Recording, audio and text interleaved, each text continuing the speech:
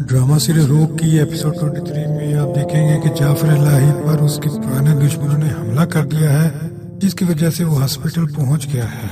वहाँ पर उसके घर वाले भी पहुँच गए उसकी हैर हरियत दरियाफ्त करने के लिए। जब उसको होश आया तो जाफ़र लाही की माँ उसकी बड़ी बेगम को लेकर घर जाने लगी तो छोटी बेगम कहती है कि मैं यहीं पर रुकूँगी। तब वो उसको वहाँ पर रोक कर खुद घर चली जाती है।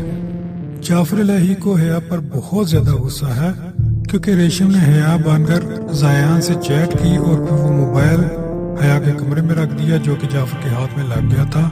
और वो मैसेज पढ़कर उसको हया पर बहुत गुस्सा है, जिसकी वजह से अब वो उसकी शक्ल भी देखना नहीं पसंद कर रहा। दूसरी तरफ़ जाफ़र की माँ के दिल में जाफ़र की औलाद का ख्याल आ जाता है और वो चाहती है कि जाफ़र और हया की औलाद हो और जाफ़र की नस्ल आगे बढ़े। दूसरी तरफ़ जयान के घर वाले ज़बरदस्ती उसकी कज़न से उसकी शादी कर देते हैं। लेकिन वो शादी की पहली ही रात उसे कहता है कि मेरे दिल में अभी भी हया है और मैं उसको बिल्कुल भी भुला नहीं सकता।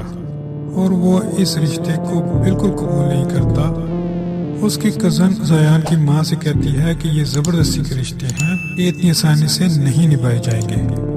तो देखते ये ड्रामा सीरियल हुक वीडियो देखने का बहुत शुक्रिया।